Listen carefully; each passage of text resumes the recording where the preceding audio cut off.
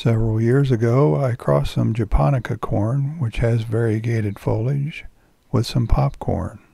I ended up with some corn that had variegated foliage and multicolored ears.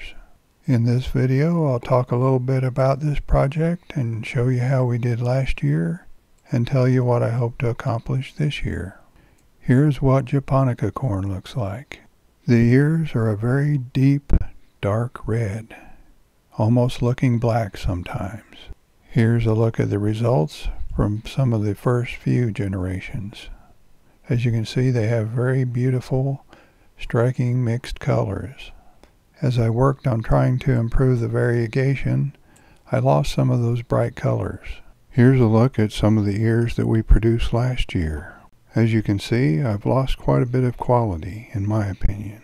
Since I'm pretty happy with the variegation we have so far, this year I'll attempt to stabilize the appearance of the ears by selecting seeds from just one plant. I'll pick one plant that has very good variegation and has high quality ears.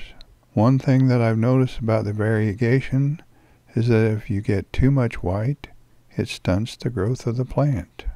If you notice the plant with a butterfly on the leaf, it's shorter than the surrounding plants because it has a lot of white.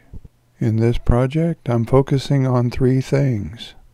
The variegation, the appearance of the ears, and the popping quality of the ears. Since I'm focusing on more than one thing, it complicates things a little bit. Along with working with what I have now, I found some ornamental popcorn that pops very well. Here's a look at it.